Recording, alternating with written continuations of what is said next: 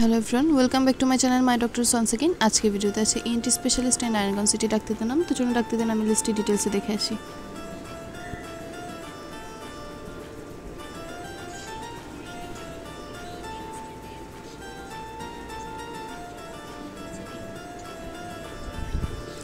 প্রথমে আছেন professor doctor DG M Akaiduzzaman, MBBS FCPS CNT MS CNT Sir Salimullah medical college and Mitford hospital ENT specialist, chamber popular diagnostic centre, Chashara Narayanganj.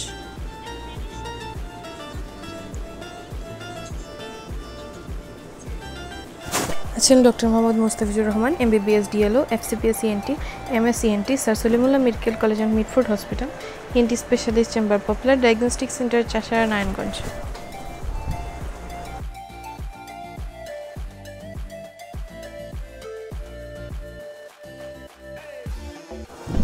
আছেন doctor Tamanna Naosin MBBS MS ENT northern international medical college and hospital ENT specialist chamber, popular diagnostic centre Chashara Narayanganj.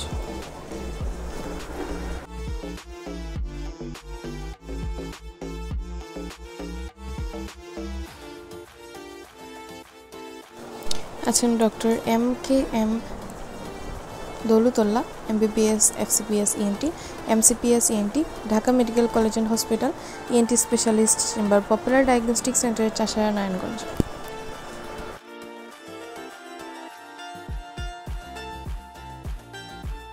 আছেন doctor Ahmed Tariq MBBS FCPS ENT MS ENT Sir Salimullah medical college and Mitford hospital ENT specialist chamber popular diagnostic centre Chashara Narayanganj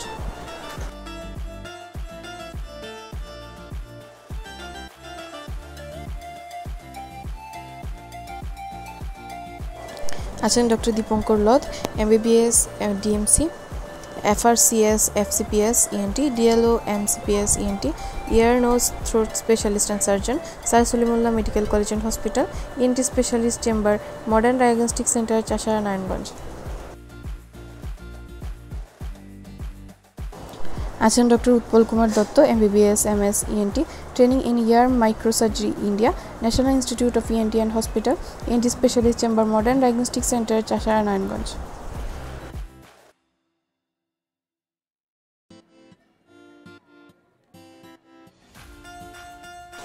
আছেন doctor Mohammad Sadiqur Rahman Emon, MBBS DU, DLO BS MMU US, Bangla medical college and hospital ENT specialist chamber popular diagnostic centre Chashara Narayanganj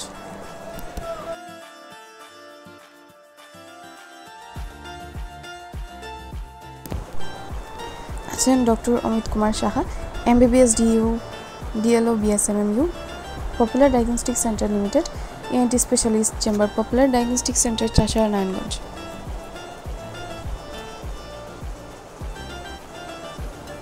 তো viewers আজকে video পর্যন্ত ছিল। আশা করি ভিডিওটি আমাদের আপনাদের উপকার আসবে। চ্যানেলে নতুন হলে অবশ্যই সাবস্ক্রাইব করার পাশে বেল বাটন করতে ভুলবেন না। আর যদি ভিডিওটি ভালো লেগে থাকে, তাহলে অবশ্যই লাইক শেয়ার কমেন্ট করবেন। ধন্যবাদ।